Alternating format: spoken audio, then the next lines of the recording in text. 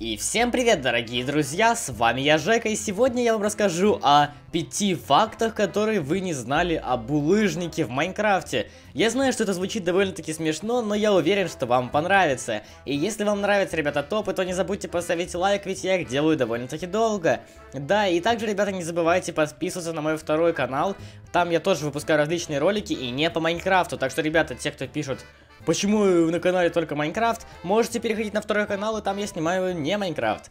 Да, но мы приступаем, собственно, к самому топу. Первое, о чем я хочу вам поведать, это то, что саму текстуру булыжника меняли аж 4 раза.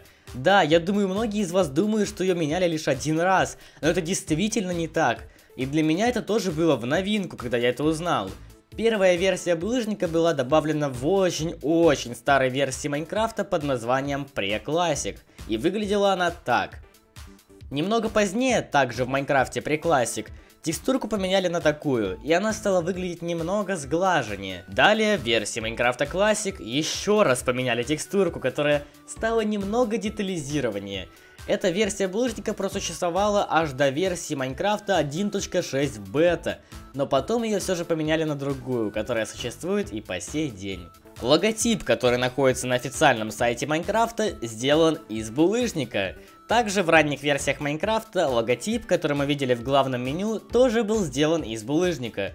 Да, ребята, булыжник очень старый и очень популярный блок. В версии Майнкрафта 1.9 пререлиз, когда только добавили эндерняк и, собственно, эндермир, при вскапывании эндерняка мы получали булыжник. Чтобы добыть эндерняк в те времена, приходилось накладывать чар на кирку под названием шелковое касание. Ну а если вы добывали обычной киркой, то, как я и говорил ранее, вы получали просто булыжник.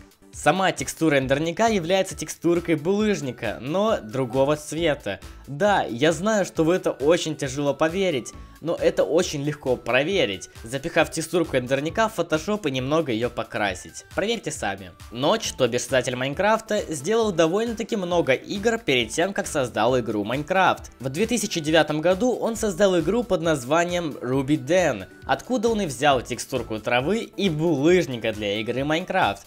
Вы можете убедиться в этом по этому скриншоту. Вот и подошло к концу это коротенькое видео, надеюсь, что вам понравилось и вы чего-нибудь-то и не знали. Я серьезно стараюсь очень сильно над топами и стараюсь, чтобы они были максимально полезными и интересными. Да, ребята, не забудьте поставить лайк, комментируйте видео, вступайте в мою группу ВКонтакте, также не забывайте подписываться на канал, конечно же, и добавлять меня в друзья ВКонтакте. Да. До новых встреч, ребята, всем пока!